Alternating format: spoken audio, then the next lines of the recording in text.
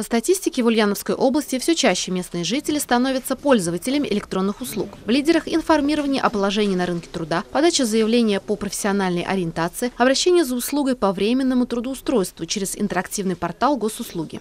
За Свияжским районным отделом филиал областного государственного казенного учреждения кадровый центр Ульяновской области в городе Ульяновске активно оказываются услуги в электронном виде. Так с начала, э, с начала года было оказано уже более 6,5 тысяч услуг в электронном виде. Э, в основном это услуги по содействию в поиске подходящей работы. Если человек обращается с компьютером на «вы», специалисты кадрового центра подскажут и помогут сориентироваться на месте. Пользователям, имеющим учетную запись на госуслугах, становятся доступны самые популярные услуги агентства по развитию человеческого человеческого потенциала и трудовых ресурсов региона.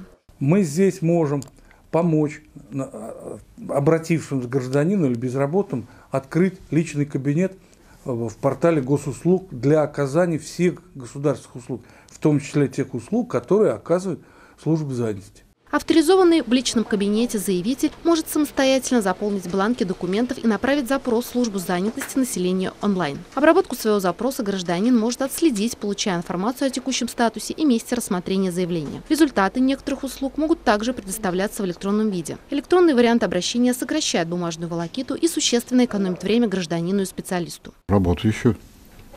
Охранник или что-нибудь такое. До пенсии год. Ну вот, пытаюсь найти.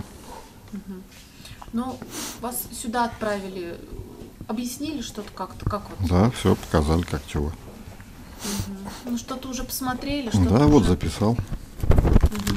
Сейчас будем звонить. По подсчетам специалистов, за 10 месяцев 2018 года жители получили порядка 27 тысяч электронных услуг службы занятости. Наталья Чумаченко, Руслан Баталов, Новости Ульяновской правды.